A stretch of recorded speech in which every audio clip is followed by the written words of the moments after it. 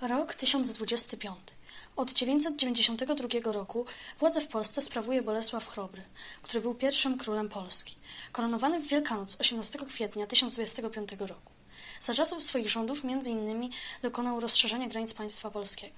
Niebawem jednak 17 czerwca 1025 roku władca umiera. Bolesław Chrobry pozostawił trzech synów. Byli to Bezprym, Mieszko II i Otto. Mieszka II wybrał na swojego następcę. Przygotowywał go do tej roli, wysyłając na misje dyplomatyczne. Mieszko potrafił czytać i pisać, znał też łacinę i grekę. Mieszko koronował się na króla Polski bez cesarskiej zgody. Przysięgam oddać życie za kraj. Przysięgam służyć wiernie ojczyźnie i zapewnić godziwe warunki życia swoim poddanym w imię Boga. A więc ja, arcybiskup, koronuję cię na nowego władcę Polski. Niech wiernie służę ojczyźnie.